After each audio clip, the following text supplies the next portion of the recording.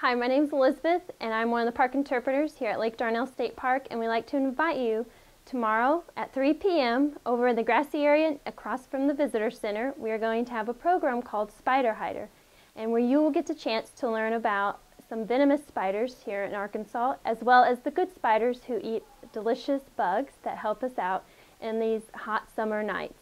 Um, and then you'll be challenged to play a game where you are going to be a bug and try to get through the web without getting eaten by the spider. We hope to see you there.